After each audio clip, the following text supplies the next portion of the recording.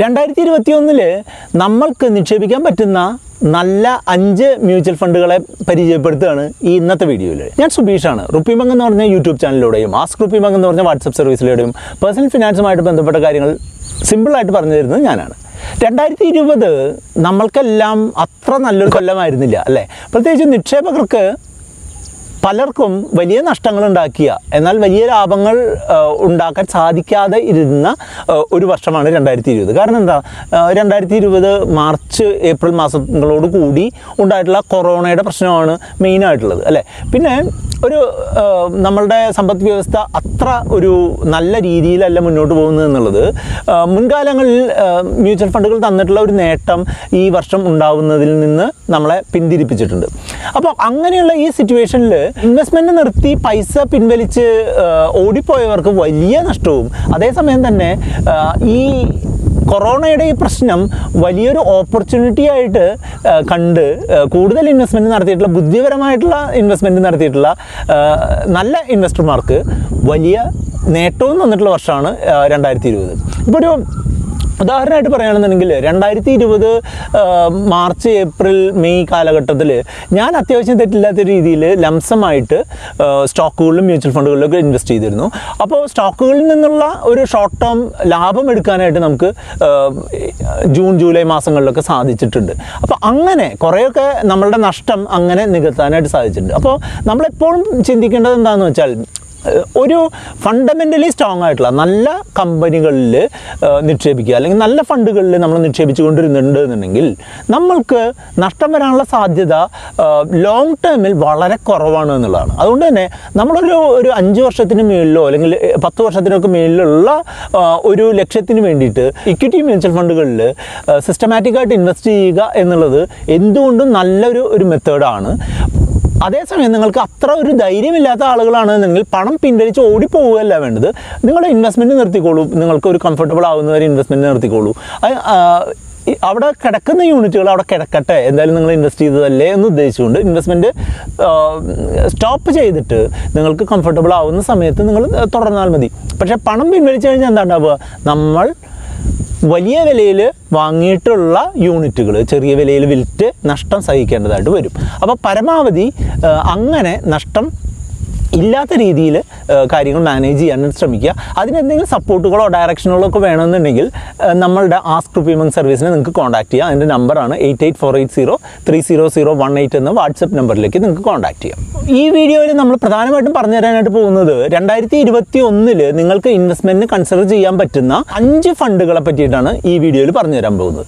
ഈ അഞ്ച് ഫണ്ടുകളിൽ ഒരു ഫണ്ട് റെക്കമെൻഡേഷൻ പോലെയല്ല പറഞ്ഞു തരുന്നത് എനിക്ക് നല്ലതാണ് എന്ന് തോന്നുന്ന രണ്ടായിരത്തി ഇരുപത്തിയൊന്നിൽ പെർഫോം ചെയ്യാൻ സാധ്യതയുണ്ട് എന്ന് ഞാൻ കരുതുന്ന ചില ഫണ്ടുകളെ നിങ്ങൾക്ക് പരിചയപ്പെടുത്തുന്നു എന്ന് മാത്രമാണ്. നിങ്ങളുടെ ആവശ്യങ്ങൾക്കും നിങ്ങളുടെ ലക്ഷ്യങ്ങൾക്കും അനുസരിച്ച് വേണം നിങ്ങൾ നിക്ഷേപിക്കാൻ.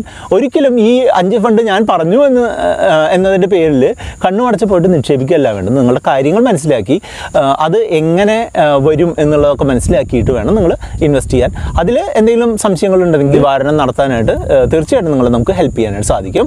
അപ്പോൾ നമ്മുടെ ഫണ്ടുകളിലേക്ക് പോകാം ഒന്നാമത്തെ ഫണ്ട് ആക്സിസ് ബ്ലൂ ചിപ്പ് ഫണ്ടാണ്. ലാർജ് ക്യാപ് കാറ്റഗറിയിൽ ആക്സിസിന്റെ ബ്ലൂ ചിപ്പ് ഫണ്ടാണ് നല്ല രീതിയിൽ വരാൻ സാധ്യതയുണ്ടെന്ന് നമ്മൾ കരുതുന്ന ആദ്യത്തെ ഫണ്ട് എൺപത്തിമൂന്ന് ശതമാനം പൈസയും വളരെ വലിയ കമ്പനികളിലും പതിനേഴ് ശതമാനം പൈസയോളം അതിഗംഭീരം കമ്പനികളല്ലെങ്കിലും വലിയ കമ്പനികളിലും നിക്ഷേപിക്കുന്ന സ്റ്റോക്കാണ് അതായത് ഏകദേശം തൊണ്ണൂറ്റിയെട്ട് തൊണ്ണൂറ്റൊൻപത് ശതമാനം ഫണ്ടുകളും ഇന്ത്യയിലെ ക്രീമായിട്ടുള്ള കമ്പനികൾ ഏറ്റവും ടോപ്പ് കമ്പനികളിൽ നിക്ഷേപിക്കുന്ന ഇരുപത്തിയാറ് സ്റ്റോക്കുകളിലെ ആയിട്ട് നിക്ഷേപിക്കുന്നത് നമ്മൾ ഇൻവെസ്റ്റ് ചെയ്യുന്ന പൈസ ഇരുപത്തിയാറ് സ്റ്റോക്കുകളിലാണ് അതിൽ ഇൻവെസ്റ്റഡ് ആവുക. അതിൽ വരുന്ന പ്രധാനപ്പെട്ട സ്റ്റോക്കുകൾ ഏതൊക്കെയാണെന്ന് വെച്ചാൽ Infosys H D F C Reliance T C S Bajaj finance ഒക്കെയാണ്. അപ്പോൾ നിങ്ങൾക്ക് ആ പേര് കേൾക്കുമ്പോൾ തന്നെ അറിയാം അല്ലേ ഇന്ത്യയിലെ ടോപ്പ് ആയിട്ടുള്ള കമ്പനികൾ അത് ഇത് കൂടാതെ ഒരു ഇരുപത്തിയൊന്ന് സ്റ്റോക്കുകൾ വേറെയുണ്ട് അപ്പോൾ ശ്രേയസ് ദേവൽക്കർ എന്ന് പറഞ്ഞിട്ടുള്ള സൂപ്പർ ഹിറ്റ് ഫണ്ട് മാനേജറാണ് ഇത് ഇത് ചെയ്യുന്നത്. അവസാന ഒരു വർഷം ഇത് ഏഴ് പോയിന്റ് മൂന്ന് ശതമാനം ലാഭമാണ് ഉണ്ടാക്കി തന്നിട്ടുള്ളത്. പതിനേഴായിരത്തി ഇരുന്നൂറ്റി തൊണ്ണൂറ് കോടിയാണ് ഈ ഫണ്ടിന്റെ ഇപ്പോഴത്തെ ഒരു മൂല്യം എന്ന് പറഞ്ഞിട്ടുണ്ടെങ്കിൽ. അയ്യായിരം രൂപ ഒറ്റത്തവണ നിക്ഷേപവും ആയിരം രൂപയുടെ എസ് ഐ പികളുമായിട്ട് നമുക്ക് സ്റ്റാർട്ട് ചെയ്യാം. ഒറ്റത്തവണയായിട്ടാണെന്നുണ്ടെങ്കിൽ അയ്യായിരം രൂപ മിനിമം വേണം. മന്ത്ലി നിക്ഷേപിക്കുന്ന സിറ്റുവേഷനിലാണെന്നുണ്ടെങ്കിൽ ആയിരം രൂപ വെച്ചുള്ള മന്ത്ലി നിക്ഷേപങ്ങളും അക്സെപ്റ്റ് ചെയ്യും. ഇതിന്റെ എക്സ്പെൻസ് റേഷ്യോ അതായത് നമുക്ക് വരുന്ന ചെലവ് ഡയറക്റ്റ് ആയിട്ടാണ് ചെയ്യുന്നതെങ്കിൽ പോയിന്റ് ഫൈവ് സിക്സ് പെർസെന്റേജ് അര ശതമാനത്തിന് തൊട്ട് മുകളിലാണ് ഇതിന്റെ എക്സ്പെൻസ് റേഷ്യോ വരുന്നത്. അതുകൊണ്ട് തന്നെ ചെറിയൊരു എക്സ്പെൻസ് റേഷ്യോയിൽ കിട്ടുന്ന ടോപ്പ് കമ്പനികളിൽ നിക്ഷേപിക്കാൻ പറ്റുന്ന വളരെ നല്ലൊരു അവസരമാണ് ആക്സസ് ബ്ലൂ ചിപ്പ് തരുന്നത്. ഇതുവരെ പറഞ്ഞിട്ടുള്ള കാര്യങ്ങൾ ഇഷ്ടപ്പെട്ടു എന്നുണ്ടെങ്കിൽ വീഡിയോ ലൈക്ക് ചെയ്തുകൊണ്ട് മുന്നോട്ട് പോവാം അടുത്ത ഫണ്ടിന്റെ പേര് മിഡ് ക്യാപ് സെഗ്മെന്റിലുള്ള ഫണ്ടാണ് ആ ഫണ്ടിന്റെ പേര് D S P mid cap ആണ്. D S P mid cap എന്ന് പറയുന്നെങ്കിൽ കഴിഞ്ഞ ഒന്ന് രണ്ട് വർഷമായിട്ട് വളരെ നല്ല രീതിയിൽ പെർഫോം ചെയ്തു വരുന്ന മിഡ് ക്യാപ്പ് ഫണ്ടാണ് അതിൽ നാൽപ്പത്തിയഞ്ച് കമ്പനികളിലായിട്ട് ആണ് അവർ നിക്ഷേപിക്കുന്നത്. അഞ്ച് ശതമാനം വലിയ കമ്പനികളിലും പതിനൊന്ന് ശതമാനം വലുതല്ലാത്ത കമ്പനികളിലും എഴുപത്തിരണ്ട് ശതമാനം ഇടത്തരം കമ്പനികളിലും നിക്ഷേപിക്കുന്നതാണ്. ഈ ഫണ്ടിൽ പ്രധാനമായിട്ടും നിക്ഷേപമുള്ളത് ഇപ്ക ലാബ്സ് മണപ്പുറം ബാലകൃഷ്ണ ഇൻഡസ്ട്രീസ് അതുൽ മുതലായിട്ടുള്ള ഇൻഫോസിസ് മുതലായിട്ടുള്ള കമ്പനികളിലാണ്. രേഷം ജെയിൻ എന്ന് പറഞ്ഞിട്ടുള്ള വളരെ കാര്യക്ഷമതയുള്ള ഒരു ഫണ്ട് മാനേജറാണ് ഇത് ഡീൽ ചെയ്യുന്നത്. കഴിഞ്ഞ ഒരു വർഷത്തെ നേട്ടം എന്ന് പറയുന്നുണ്ടെങ്കിൽ പതിനാല് പോയിന്റ് ഒന്ന് നാല് ശതമാനമാണ്. എണ്ണായിരത്തി ഇരുന്നൂറ്റി എഴുപത്തിനാല് കോടി ആസ്തിയാണ് ഈ ഫണ്ടിന് ഇപ്പോൾ ഉള്ളത്. അഞ്ഞൂറ് രൂപ നിങ്ങൾക്ക് ഒറ്റത്തവണയായിട്ടോ എസ് ഐ പി ആയിട്ടോ ഒക്കെ നിങ്ങൾക്ക് ഇൻവെസ്റ്റ്മെന്റ് വളരെ ചെറിയൊരു ഇൻവെസ്റ്റ്മെന്റ് വെച്ച് തുടങ്ങാൻ പറ്റുന്ന ഒരു മിഡ് ക്യാപ് ഫണ്ടാണ് മിഡ് ക്യാപ് ഫണ്ടുകൾ എല്ലാവരും ഓടിപ്പോയി എടുക്കാൻ പാടില്ല കേട്ടോ. കുറച്ചൊരു റിസ്ക് എടുക്കാൻ താല്പര്യമുള്ള റിസ്ക് എടുക്കാൻ കഴിവുള്ള ആളുകൾ മാത്രം ഇൻവെസ്റ്റ് ചെയ്യായിരിക്കും നല്ലത്. കാരണം എന്താണെന്ന് വെച്ചാൽ ആ ഫണ്ടുകളിൽ ഫണ്ടുകളിലുള്ള സ്റ്റോക്കുകൾ കുറേ കൂടെ പ്രൈസ് വാരിയേഷൻ വരാൻ സാധ്യതയുള്ളതുകൊണ്ട് അതിന്റെ എൻ എ ബി കൂടുന്നതും കുറയുന്നതൊക്കെ വളരെ പെട്ടെന്നായിരിക്കും. അപ്പോൾ നമ്മൾ ഒരു അഞ്ച് വർഷത്തിനൊക്കെ മേളിലേക്കുള്ള ഒരു കാലയളവിലേക്കാണെന്നുണ്ടെങ്കിൽ ഈ mid cap fund D S പിയുടെ മിഡ് ക്യാപ് ഫണ്ട് കൺസിഡർ ചെയ്യാവുന്നതാണ് എന്നാണ് എനിക്ക് തോന്നുന്നത്. മൂന്നാമത്തെ ഫണ്ടിന്റെ പേര് S B I small cap എന്നാണ്. സ്മോൾ ക്യാപ്പ് ഏറ്റവും ചെറിയ കമ്പനികളിൽ വളരെ നല്ല രീതിയിൽ ഇൻവെസ്റ്റ് ചെയ്തുകൊണ്ട് കഴിഞ്ഞൊരു മൂന്ന് നാല് വർഷമായിട്ട് വളരെ നല്ല പെർഫോമൻസ് കാഴ്ച കാഴ്ചവെക്കുന്ന ഒരു ഫണ്ടാണ് എസ് ബി ഐയുടെ സ്മോൾ ക്യാപ്പ് ഫണ്ടുകൾ ഒരു കാര്യം നിങ്ങൾ ശ്രദ്ധിക്കാനുള്ളത് എന്താണെന്ന് വെച്ചാൽ നിങ്ങളുടെ ലക്ഷ്യം ഒരു പത്ത് വർഷത്തിനുള്ളിലാണ് എന്നുണ്ടെങ്കിൽ ഈ ഫണ്ടുകളിൽ ഒരിക്കലും ഇൻവെസ്റ്റ് ചെയ്യരുത്. ഒരു പത്ത് വർഷത്തിനൊക്കെ ശേഷമുള്ള ഒരു ലക്ഷ്യം. ഇപ്പോൾ ഒരു ഉദാഹരണത്തിന് പറഞ്ഞ് നിങ്ങളുടെ റിട്ടയർമെന്റ് ഒരു പത്ത് വർഷത്തിന് ശേഷമാണ്. അല്ലെങ്കിൽ മക്കളുടെ വിദ്യാഭ്യാസം ഒരു പത്ത് വർഷത്തിന് ശേഷമൊക്കെയാണ് എന്നുണ്ടെങ്കിൽ നിങ്ങൾ തീർച്ചയായിട്ടും ഈ ഫണ്ട് വെക്കുന്നതുകൊണ്ട് കുഴപ്പമില്ല. പക്ഷേ പത്ത് വർഷത്തിനുള്ളിലുള്ള ഒരു കാര്യത്തിനും ഈ ഫണ്ടിൽ നിക്ഷേപിക്കാൻ നമ്മൾ പറയില്ല. അത് നിക്ഷേപിക്കരുത് എന്നേ നമ്മൾ പറയുള്ളൂ. കാരണം എന്താണെന്ന് വെച്ചാൽ ഇതിലെ കമ്പനികൾ ചെറുതും വളരെ ചെറുതുമായിട്ടുള്ള കമ്പനികളാണ് അതുകൊണ്ട് തന്നെ അതിൽ വരുന്ന മാറ്റങ്ങൾ വളരെ വലുതായിരിക്കും എന്നുള്ളത് കൊണ്ട് തന്നെ നമ്മൾക്ക് നമ്മൾ നിക്ഷേപിക്കുന്ന പണത്തിന് വളരെ വലിയ മാറ്റങ്ങൾ വരാനുള്ള സാധ്യത കൂടുതലാണ്. അതുകൊണ്ട് എപ്പോഴും ഒരു ലോങ് ടേം ലക്ഷ്യത്തിനായിട്ട് മാത്രം ഈ ഫണ്ടുകൾ ഉപയോഗിക്കുക എന്നുള്ളത് പറഞ്ഞുതരാം. അപ്പോൾ അൻപത് സ്റ്റോക്കുകളാണ് ഇതിൽ ഇപ്പോൾ ഉള്ളത് ആർ ശ്രീനിവാസൻ എന്ന് പറഞ്ഞിട്ടുള്ള സൂപ്പർ ഹിറ്റ് സംവിധായകൻ അല്ലെങ്കിൽ ഫണ്ട് മാനേജർ ആണ് ഈ ഫണ്ട് കൈകാര്യം ചെയ്യുന്നത്. J K cement L G equipments Hawkins blue star പോലുള്ള കമ്പനികളിലാണ് ഇവർ കൂടുതലായിട്ട് ഇൻവെസ്റ്റ്മെന്റ് നടത്തുന്നത്. കഴിഞ്ഞ ഒരു വർഷത്തെ നിക്ഷേപം ഈ കൊറോണയൊക്കെ കൊടു കൊടുമ്പിരി കൊണ്ടിട്ടുള്ള ഈ സമയത്ത് പോലും പതിമൂന്ന് പോയിന്റ് എട്ട് ആറ് ശതമാനം ലാഭമാണ് അവർ തന്നിട്ടുള്ളത് ഈ ഫണ്ട് തന്നിട്ടുള്ളത്. അയ്യായിരത്തി മുന്നൂറ്റി ഇരുപത്തി ഒന്ന് കോടി രൂപ ഇതിൽ ഇപ്പോഴത്തെ നിക്ഷേപമുണ്ട്. ഈ ഇട ഇത് ഫണ്ട് വാല്യൂ കൂടിയത് കൊണ്ട് തന്നെ ഈ ഫണ്ടിൽ ഈ ലംസമായിട്ടുള്ള ഇൻവെസ്റ്റ്മെന്റ് സ്റ്റോപ്പ് ചെയ്തിട്ടുണ്ട്. എസ് ഐ പി മാക്സിമം എടുക്കാൻ പറ്റുന്ന അയ്യായിരം രൂപയാണ്. അഞ്ഞൂറ് രൂപ മുതൽ നമുക്ക് എസ് ഐ പി അയ്യായിരം രൂപ വരെ എടുക്കാനായിട്ട് സാധിക്കും. ഇതിന്റെ എക്സ്പെൻസ് റേഷ്യോ പോയിന്റ് ഒൻപത് ആറ് ശതമാനമാണ്. ഒരു ഒരു ശതമാനത്തിന് തൊട്ടടുത്താണ്.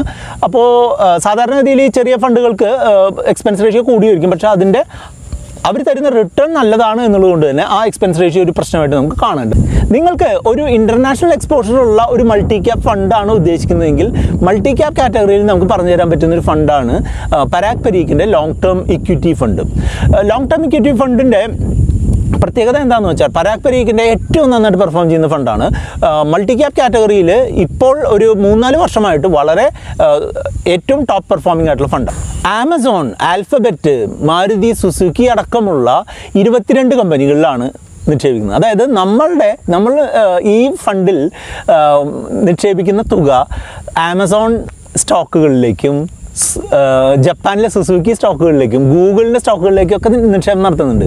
അപ്പോൾ നമ്മൾ ഇന്ത്യയിൽ ഇരുന്നുകൊണ്ട് തന്നെ ഒരു ഒരു ഇന്റർനാഷണൽ ഫ്ലേവർ ഉള്ള ഒരു ഫണ്ടിൽ നമ്മൾ നിക്ഷേപിക്കുകയാണ്. അതാണ് ഇതിന്റെ ഒരു പ്രത്യേകത. ഈ അടുത്തുണ്ടായിട്ടുള്ള ഒരു ബൂം ഈ ഫണ്ടിനെ വളരെയധികം നല്ല രീതിയിൽ ഹെൽപ്പ് ചെയ്തിട്ടുണ്ട്. അതുകൂടാതെ persistent systems I T C Mphasis പോലുള്ള ഇന്ത്യൻ കമ്പനികളിലും ഇവർക്ക് നല്ല നിക്ഷേപമുണ്ട്. രാജീവ് ഠക്കർ എന്ന് പറഞ്ഞിട്ടുള്ള നമുക്ക് വളരെ താല്പര്യമുള്ള ഒരു ഫണ്ട് മാനേജറാണ് ഈ ഫണ്ട് ഹാൻഡിൽ ചെയ്യുന്നത്. ഒരു വർഷത്തെ ഈ വീഡിയോ ഷൂട്ട് ചെയ്യുന്നതിന് മുൻപ് ഒരു വർഷത്തെ നിക്ഷേപത്തിന്റെ വളർച്ച കേട്ട് കഴിഞ്ഞാൽ നിങ്ങൾ ചിലപ്പോൾ ഞെട്ടിപ്പോവും. ഇരുപത്തി മൂന്ന് പോയിന്റ് ആറ് അഞ്ച് ശതമാനം. അതായത് നൂറ് രൂപ നിക്ഷേപിച്ചിട്ടുണ്ടെന്നുണ്ടെങ്കിൽ നൂറ്റി ഇരുപത്തി മൂന്ന് രൂപയായിരിക്കുകയാണ് വേറെ ഏത് മ്യൂച്വൽ ഫണ്ട് അങ്ങനെ തന്നിട്ടുണ്ട് എന്നുള്ളത് വളരെ കുറച്ച് ഫണ്ടുകൾ മാത്രമേ അങ്ങനെ തന്നിട്ടുണ്ടാവുള്ളൂ. അപ്പോൾ തീർച്ചയായിട്ടും നമ്മുടെ പോർട്ട്ഫോളിയോയിൽ വേണ്ട ഒരു ഒരു ഫണ്ട് എന്നുള്ള രീതിയിലാണ് ഞാൻ ആ ഫണ്ടിനെ കാണുന്നത്. ഇതിന്റെ ഒരു പ്രശ്നമായിട്ട് പറയാൻ പറ്റുന്നത് രണ്ട് മൂന്ന് കാര്യങ്ങളുണ്ട്. നിങ്ങൾ അത് ഒന്ന് ശ്രദ്ധിക്കണം. അതായത് രണ്ട് ശതമാനം ഇതിന് എക്സിറ്റ് ലോഡ് ഉണ്ട്. അതായത് നിങ്ങൾ നിക്ഷേപിച്ചിട്ട് ഒരു വർഷത്തിനുള്ളിൽ പണം പിൻവലിക്കുകയാണെന്നുണ്ടെങ്കിൽ നൂറ് രൂപ എടുക്കുമ്പോൾ തൊണ്ണൂറ്റെട്ടേ നമുക്ക് കിട്ടുള്ളൂ.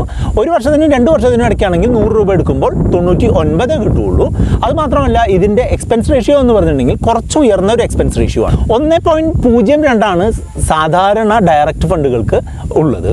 അപ്പോൾ റെഗുലർ ഫണ്ടുകളുടെ കാര്യം പറയണ്ടല്ലോ അല്ലേ? ഡയറക്റ്റ് ആയിട്ടുള്ള പ്ലാനിന് ഒന്ന് പോയിന്റ് പൂജ്യം രണ്ടാണ് അത് കുറച്ച് കൂടുതലാണ്. പക്ഷേ ഇവർ ഈ തരുന്ന ഇരുപത്തി മൂന്ന് പോയിന്റ് ആറ് എന്ന് പറഞ്ഞിട്ടുള്ള വലിയ ഇൻട്രസ്റ്റ് റേറ്റ് അല്ലെങ്കിൽ വലിയൊരു നേട്ടം തരണമെന്നുണ്ടെങ്കിൽ അത്ര ഒരു എക്സ്പെൻസ് റേഷ്യോ കൊടുക്കുന്നുണ്ട് തെറ്റില്ല എന്നാണ് എനിക്ക് തോന്നുന്നത്. നിങ്ങൾക്ക് എന്താ തോന്നുന്നത്? കമന്റ് ചെയ്യാമോ? നിങ്ങൾക്ക് അതിൽ നിക്ഷേപം ഉണ്ടോ?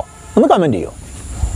നിങ്ങൾ ടാക്സ് കൊടുക്കുന്ന ഒരാളാണ് എന്നുണ്ടെങ്കിൽ നിങ്ങൾ തീർച്ചയായിട്ടും ഇൻകം ടാക്സ് കൊടുക്കുന്ന ഒരാളാണെന്നുണ്ടെങ്കിൽ നിങ്ങൾ തീർച്ചയായിട്ടും കയ്യിൽ കരുതേണ്ട ഒരു ഫണ്ടാണ് അടുത്തതായിട്ട് പറയാനായിട്ട് പോകുന്നത്.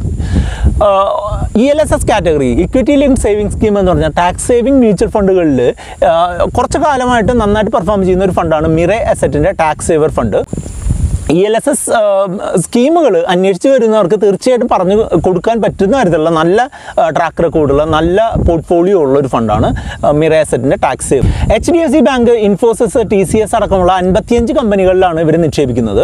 അൻപത്തിയേഴ് ശതമാനം വലിയ കമ്പനികളിലും പന്ത്രണ്ട് ശതമാനം ഇടത്തരം കമ്പനികളിലുമായിട്ടാണ് ഇതിന്റെ നിക്ഷേപം പോകുന്നത്. നീലേഷ് ഷുരാന നീലേഷ് ഷുരാന എന്ന് പറഞ്ഞിട്ടുള്ള ഫണ്ട് മാനേജറാണ് ഈ മിറയുടെ ഈ ടാക്സ് സേവർ എന്ന് പറഞ്ഞിട്ടുള്ള ഫണ്ടും മാനേജ് ചെയ്യുന്നത് അവസാനത്തെ ഒരു വർഷം ഇത് പതിനൊന്ന് പോയിന്റ് അഞ്ച് ശതമാനം നേട്ടം തന്നിട്ടുണ്ടായിരുന്നു. നാലായിരത്തി ഇരുന്നൂറ്റി എഴുപത് കോടിയാണ് ഇതിന്റെ ഇപ്പോഴത്തെ മാർക്കറ്റ് മൂല്യം. ത്രീ ഇയർ ലോക്കിൻ പീരീഡ് ഉണ്ട് എന്നുള്ളത് നിങ്ങൾ തീർച്ചയായിട്ടും മനസ്സിലാക്കണം. അതായത് ഇന്നിടുന്ന ഈ പൈസ മൂന്ന് വർഷത്തിന് ശേഷം മാത്രമേ നമുക്ക് എടുക്കാനായിട്ട് പറ്റുള്ളൂ. അപ്പോൾ അതുകൊണ്ട് തന്നെ ടാക്സ് സേവിങ് എന്ന് പറഞ്ഞ ആവശ്യത്തിന് വേണ്ടി മാത്രം ഈ ഫണ്ടുകൾ നിക്ഷേപിക്കുക. അല്ലാത്തത് മറ്റുള്ള ഫണ്ടുകൾ നിങ്ങൾ കൺസിഡർ ചെയ്യുന്നതായിരിക്കും നല്ലത് എന്നുള്ളൊരു അഭിപ്രായം അഞ്ഞൂറ് രൂപ വെച്ചുള്ള എസ് ഐ പി ആയിട്ടോ ഒറ്റത്തവണയായിട്ടോ നിങ്ങൾക്ക് നിക്ഷേപിക്കാം. പോയിന്റ് മൂന്ന് ആറ് എന്ന് പറഞ്ഞാൽ വളരെ ചെറിയ എക്സ്പെൻസ് റേഷ്യോ ആണ് ഡയറക്റ്റ് ആയിട്ടുള്ള ഫണ്ടുകൾക്ക് ഉള്ളത്.